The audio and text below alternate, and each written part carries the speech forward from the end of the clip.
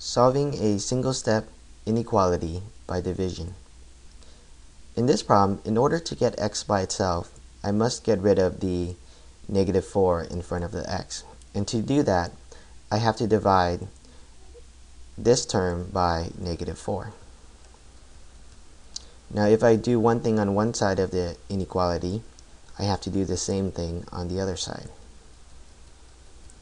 You have to note that whenever you divide an inequality by a negative number, the inequality sign will be reversed. So I'm going to go ahead and reverse less than or equal to to greater than or equal to.